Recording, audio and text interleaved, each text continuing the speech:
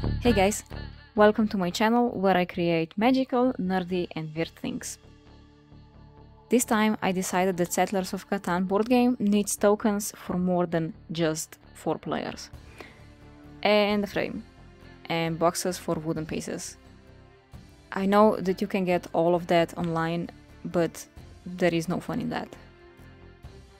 Starting with the road piece, I used 5 by 5 mm stick that I marked and cut in pieces were 2.5 centimeters in length.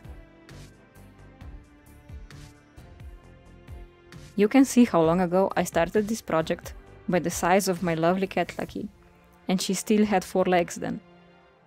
For cutting wooden pieces I used this handy electric saw.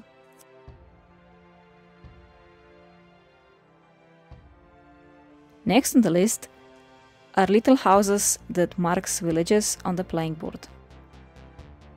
Leo helped me cut the piece of wood to the correct thickness and then I traced one of the original houses using it as a blank.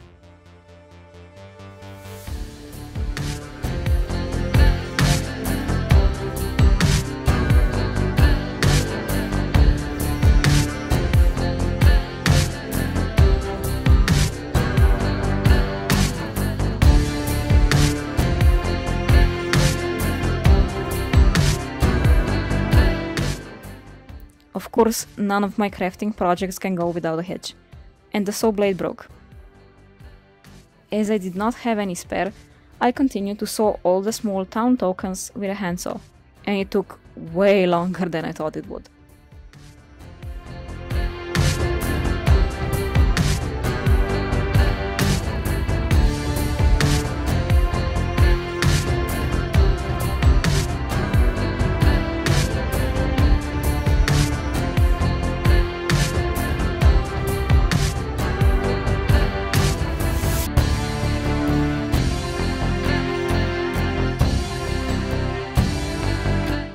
After I sanded all the pieces and completely moved my creative studio, it was time for painting.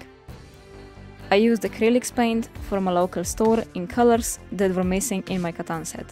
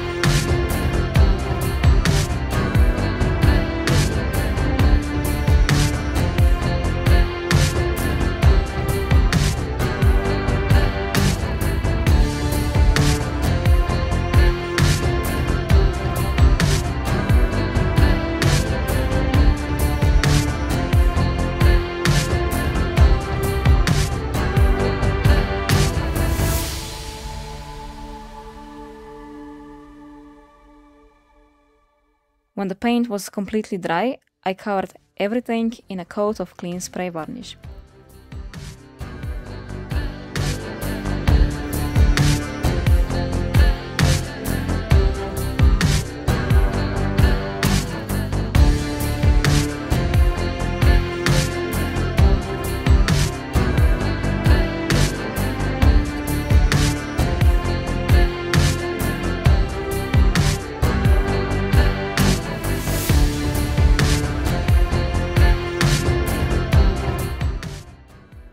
Now the player pieces were finished. But what about the boxes to store them in? These were designed and 3D printed after a bunch of trials and errors. You can see all of that in my next video.